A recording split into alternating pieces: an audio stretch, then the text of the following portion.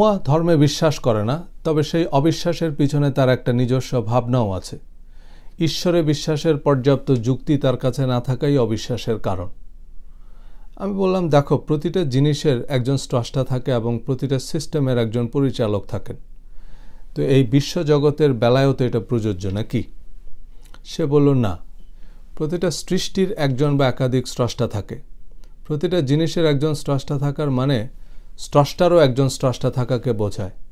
আমি বললাম অলরাইট তো আমাদের চারপাশে গাছ, নদী, পাহাড়, এসব কি সৃষ্টি নয়? এবং এসবের কি একজন স্রষ্টা থাকা উচিত নয়? নোয়া বলল ওকে তোমার বিশ্বাস অনুযায়ী স্রষ্টা কীভাবে পাহাড় সৃষ্টি করেন? আমি বললাম, তিনি হয়ে যাও বললেই আপনা আপনি হয়ে যায়। নোয়া বলা শুরু করল, তার মানে আপনা আপনি হওয়া সম্ভব। এই আপনা আপনি যেটুকু হয় তাকে আমরা প্রাকৃতিক প্রক্রিয়া হিসেবেই মানি, কারণ এটা প্রমাণিত। এই প্রক্রিয়ায় ব্যাঘাত ঘটলে ফলাফলও ভিন্ন হবে। তুমি একটা বীজ কাচের বয়মে ভরে রাখলে তা থেকে গাছ হবে না।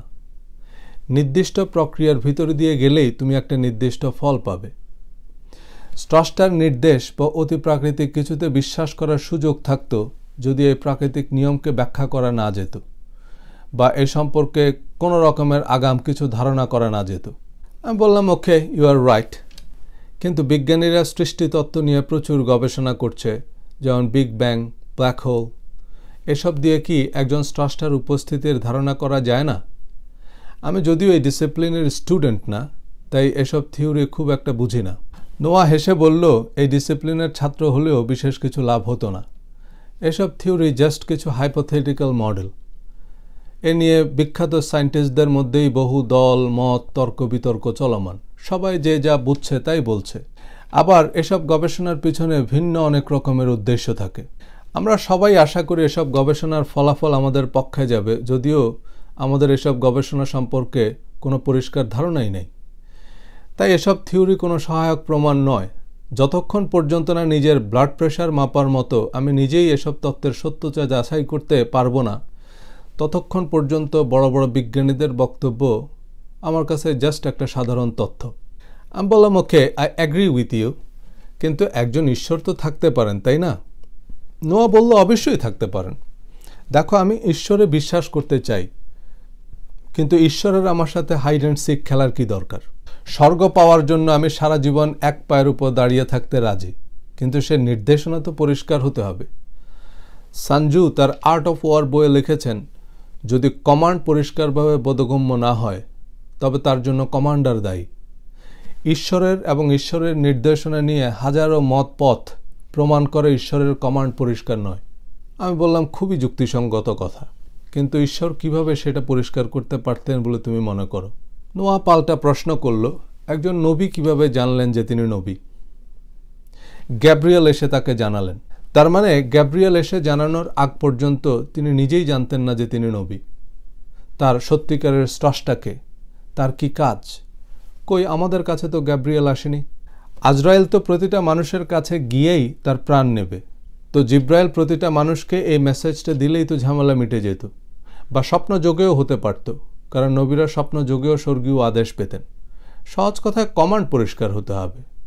এবং নির্দেশনা যেহেতু মানুষের জন্য, তাই মানুষের কাছে তা বোধগম্য হতে হবে। আমি তখন বললাম, খুবই ভালো যুক্তি। তবে এর একটা কারণ হতে পারে, স্রষ্টা আমাদের কাছে তার অস্তিত্ব সম্পর্কে এর চেয়ে বেশি বা নবীদের মতো পরিষ্কার করতে চাননি। সে অবাক ভঙ্গিতে বলল, এ আবার কেমন কথা? ঈশ্বর চান আমরা তাকে বিশ্বাস করি, তার আদেশ নিষেধ মেনে চলি। আবার ঈশ্বর নিজেকে আড়াল করে রাখলেন যাতে আমরা তাকে পুরোপুরি বিশ্বাস করতে না পারি। আমি বললাম, কারণ ঈশ্বরকে পুরোপুরি জানলে মানুষ জগৎ সংসার ভুলে এক পায়ের উপরে দাঁড়িয়ে থাকত। তিনি হয়তো মানুষের কাছ থেকে সেটা আশা করেন না। আর ঈশ্বর ছাড়াও দুনিয়ার কোনো কিছুই মানুষের কাছে আপনা আপনি বোধগম্য হয়নি। একটা শিশুর কাছে পৃথিবীর সব কিছুই আছে না আবার এই শিশুই বড় হয়ে আমাদেরকে দূরতম গ্যালাক্সির খোঁজ খবর দিচ্ছে। কিন্তু মানুষটাকে কাছের বয়মে ভরে রাখলে সে তার সারা জীবনে একটা শব্দও শিখবে না। এবার সে বলল, এটা একটা ভালো যুক্তি। তবে স্রষ্টাকে শুধু বিশ্বাস করলেই তো শেষ নয়। এ তো সবে শুরু। আমি বললাম, যেমন সে জিজ্ঞেস করল, তুমি হিপনোটিজম সম্পর্কে জানো? মোটামুটি জানি। তবে তুমি মনোবিজ্ঞানের ছাত্র, তুমি আরও ভালো বলতে পারবে। নোয়া তখন দারুণ ব্যাখ্যা দিল। কাউকে হিপনোটাইজ করার মানে তার ব্রেইনের পিন পাসওয়ার্ড রিকভারি ডিটেল নিয়ে নেয়। আর কাউকে হিপনোটাইজড করতে পারলে তুমি তাকে দিয়ে যা ইচ্ছা তাই করাতে পারবে। তার টাকা পয়সা নিয়ে নিতে পারবে, মানুষ খুন করাতে পারবে এনিথিং আমি বললাম, বলো কি? কিন্তু হিপনোটাইজ করা নিশ্চয়ই খুব কঠিন কাজ। সে হেসে বলল, মোটেও না। এটা কোনো অতি প্রাকৃতিক বা অলৌকিক কিছু নয়। খুবই নিত্য নৈমিত্তিক বিষয়। কিন্তু যাকে হিপনোটাইজ করা হবে সে না চাইলে পৃথিবীর সবচেয়ে বড় হিপনোটিস্টও তাকে হিপনোটাইজ করতে পারবে না। আমি বললাম, তো কোনো মানুষ কি স্বেচ্ছায় হিপনোটাইজড হতে চাইবে? কারও নিয়ন্ত্রিত রোবট হতে চাইবে? সে বলল, পৃথিবীর বেশিরভাগ মানুষই হিপনোটাইজড এবং তারা স্বেচ্ছায় হিপনোটাইজড যেমন, তুমি ঈশ্বরে বিশ্বাস করলেই শুরু। তোমাকে বিশাল একটা বাইবেল বা কোরআন ধরিয়ে দেয়া হবে, যেটা ঈশ্বরের বই। তুমি বিশ্বাস করলা। এবারে কোরআন বা বাইবেলে যাই লেখা থাক তা অবিশ্বাস করার সুযোগই নেই। বাইবেল কোরআনের বাইরেও আরও অজস্র বই আছে। সেসব তোমার পক্ষে পড়া সম্ভব নয়, যদি ধর্ম তোমার মূল পেশা না হয়। ইমাম বা পোপরা যা বলছেন, তাই ঈশ্বরের কথা।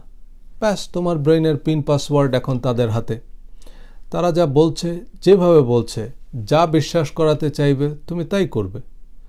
তারা মসজিদ, গির্জা বানানোর জন্য টাকা চাইবে ধর্ম প্রচারের জন্য ডোনেশন চাইবে, ধর্ম যুদ্ধে যেতে বলবে, এবং তারা যা বলবে, তুমি তাই করবে। কারণ তারা যা বলছে, তাই ঈশ্বরের কথা।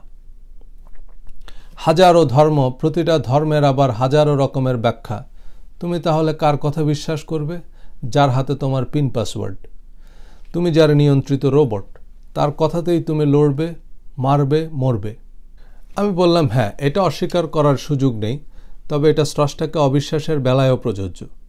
যেমন কেউ স্রষ্টাকে অবিশ্বাস করলে সে অবিশ্বাসকে যৌক্তিক ভিত্তি দেওয়ার জন্য সে একটা বিশেষ অ্যাঙ্গেল থেকে ভাববে। আবার একটা পক্ষ নেবে, যেমন এথিস্ট। সুতরাং ধর্মের কিছুই সে বিশ্বাস করবে না না বাইবেল, না কোরআন। ধর্মের সব কিছুতেই সে একটা সমস্যা খুঁজে পাবে। এখন সে যতই নিজেকে শান্তিপ্রিয় দাবি করুক কোনোভাবে তাকে উত্তক্ত করলে বা খোঁচা দিলেই সে ধর্মবিশ্বাসীদের তার প্রতিপক্ষ ভাবা শুরু করবে। এক পর্যায়ে ঘৃণা করা শুরু করবে। তাদের হত্যা করাকে যৌক্তিক মনে করবে। প্রচুর এই থিয়েস্ট আছে যারা ঘৃণা ছড়াচ্ছে, বিদ্বেষ ছড়াচ্ছে প্রতিনিয়ত। কারণ তার দৃষ্টিতে ধার্মিকরা হচ্ছে ডেভিল নিয়ন্ত্রিত রোবট তার মানে একজন এইথিস্টও রেডিক্যাল হতে পারে হিপনোটাইজড হতে পারে। এখন রেডিক্যাল আস্তিক রেডিক্যাল নাস্তিক বা হিপনোটাইজড মুসলমান হিপনোটাইজড হিন্দুই সমস্যা। যেমন টুইন টাওয়ার হামলার কাউন্টার ইফেক্ট হিসাবে ওয়ার অন টেরর আবার ওয়ার অন টেররের কাউন্টার ইফেক্ট হিসাবে নতুন সন্ত্রাসী গ্রুপ তৈরি হচ্ছে বা অনেকে সন্ত্রাসী গ্রুপে যোগ দিচ্ছে। কিন্তু এসবের কারণ ধর্মীয় নয়, বরং রাজনৈতিক বা অর্থনৈতিক। হুম, তোমার এই যুক্তিতে আমি একমত। এই এতক্ষণে আমি হিসাবের খাতা খুললাম।